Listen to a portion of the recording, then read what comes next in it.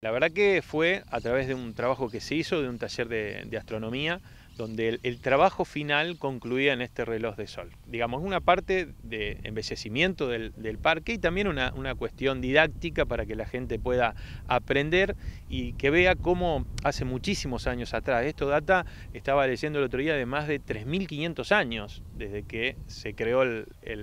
este reloj de sol para que la gente pudiera determinar en qué momento del día estaba. Así que bueno, era trabajar y poder terminarlo y embellecer este parque del parque central que le llamamos nosotros del ferrocarril en esta área que es un área nueva de, esparcimiento para los chicos. ¿La persona que lo hizo es de la localidad? No, no, no es un, es un profe que vino de afuera, digamos que fue el que, el que dio el taller,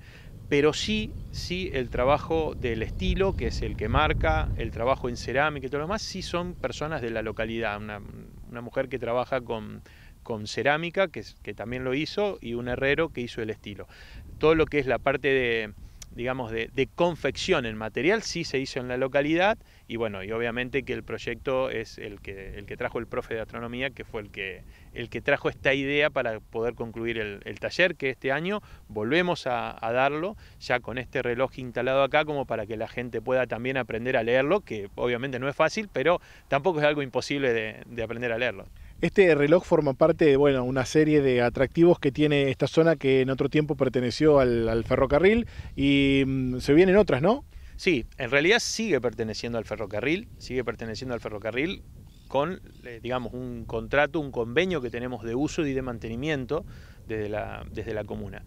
Eh, nosotros cuando asumimos hace tres años atrás dijimos que íbamos a a embellecer mucho más el pueblo en esta área, que es un área muy grande, donde también a mis espaldas vas a ver que, se está llevando a, cabo un desarme de una planta de acopio, que cuando nosotros asumimos ya cortamos el, uso de la planta y obligamos el desarme para, digamos, entendemos que los pueblos se fundaron enfrente del ferrocarril, pero también entendemos que las cuestiones van avanzando, las épocas van cambiando y era un punto de contaminación, de, malos olores, de roedores y demás. Así que bueno, eh, eso fue por un lado. Posteriormente se decidió la construcción de una nueva avenida que conectó al pueblo eh, en esta área que estaba bastante desconectado, que había que hacer varios metros y varios de cientos de metros para cruzar de un lado a otro. Y ahora sí, ahora sigue la construcción, seguramente a futuro ya está planificado, un quincho de unas dimensiones bastante importantes en este parque para que la gente lo pueda utilizar para eh, poder venir a festejar los cumpleaños, comer los asados cuando llueve, tener un, un lugar, ya que viste que en el pueblo tenemos muchos parrilleros, bueno, en este lugar se va a construir un quincho que tenga una dimensión bastante importante para que la gente pueda venir y disfrutar también.